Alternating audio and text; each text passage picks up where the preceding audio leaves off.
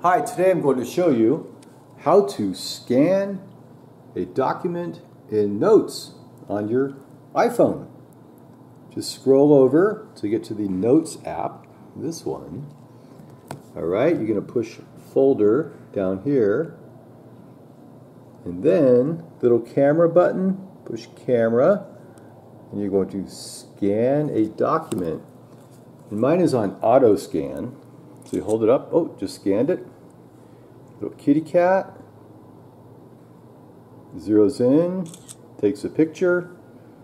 Little box here. Zeroes in, takes a picture. So I scanned three items. We're going to save them down here. Okie doke. And here they are. My little items there that I scanned.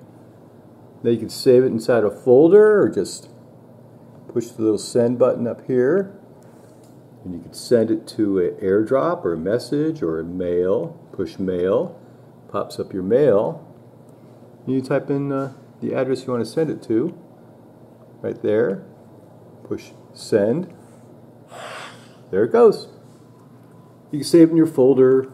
You can organize it. You can do all sorts of mumbo jumbo but that's a little simple thing. Cute little cat.